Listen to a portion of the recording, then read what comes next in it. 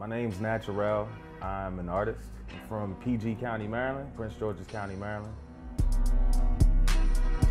After I graduated high school in Prince George's County, Maryland, I came up to attend Pratt Institute all the way up to the point I couldn't really afford it anymore, and then started working in the fashion district, Rocawear, Ecko, Akademiks, like pretty much all the urban stuff during the mid 2000s. So kind of stayed up here because of work. I found it really good for me in my career because I was around so many great designers and stuff. Kind of stayed around for like about 12 years. Now I just moved back to DC. I want to explore creatively everything, like holograms.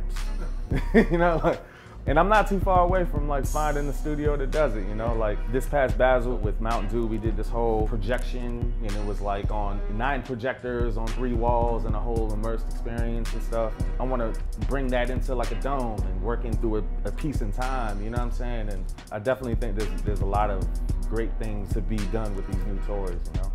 a few months ago, Puma reached out and wanted to collab on a, on a shoe. It was actually the homies Dee and Ricky that kind of made the plug before anything. They just hit me up out the blue and was like, oh, you mess with Puma? I was like, yeah, yeah. So they hooked it up and basically we got to working on a class. And I just wanted something that, that, that seems like movement, feels like movement, and then playing around with some of the materials.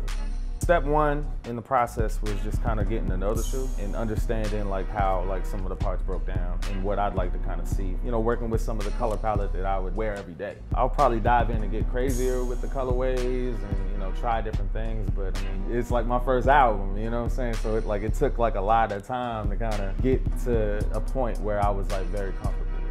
Worst thing you could do is allow the game or allow people or trends or even your heroes to dictate who you are and what you bring to the table. So like, I mean, those are the evils I, I try to fight every day within myself, you know, like being able to kind of own what I'm doing, honestly, and not try to be like the studio drawing guy. Like, who's to say what I'm doing when I wake up? Like, the minute I'm doing it isn't art, you know what I'm saying?